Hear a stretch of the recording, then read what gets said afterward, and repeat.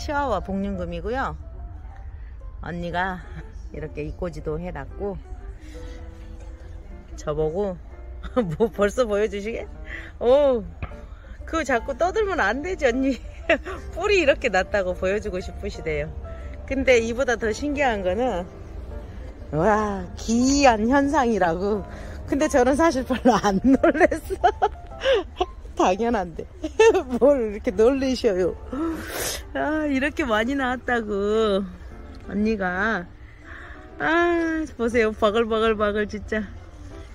이게 진짜 무슨 그거 꼭 파리 그거 파리들 언니가 알아요? 파리 알까면 주렁주렁 열려있는 그거 같아. 아니야, 그거 그거. 그런데 비교하지 마. 그런데 비교해서 죄송합니다. 좋은데 비교 음, 비유해야 되는데 이렇게 아까 아까 그 아이들의 밑둥인데요. 언니 이렇게 좋은 일 있으려나 하시면서 기분 좋아서 또 저를 여기로 끌고 오시네요. 치아와 복륜금이고요. 얼굴 많이 형성돼서 좋은 근데 이거 지금 중국 상인들이 많이 가져가요. 이거는 꾸준히 좋은 가격에. 이거 얼굴 많이 형성돼서 언니 대박 치세요. 감사합니다. 네 아유 진짜 그거 팔이 그거 같다니까 니 뭐, 뭐, 뭔 말인지 알아요?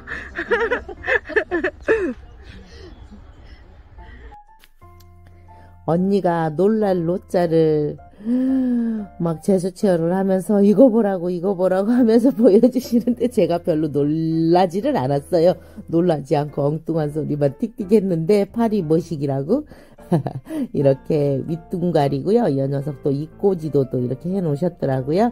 어, 세 점을 가지고 계시는데 커팅 안한이 녀석은 왜 이래요 언니? 또 커팅할까? 그러시는 거예요. 아우 커팅보다는 분가리를 새로 해서 음, 바른 흙에, 어, 이 녀석에 맞는 흙에 제대로 앉히는 게 좋을 것 같아요. 언니 어려우시면 신 선생님께 진단 받으세요. 이랬어요.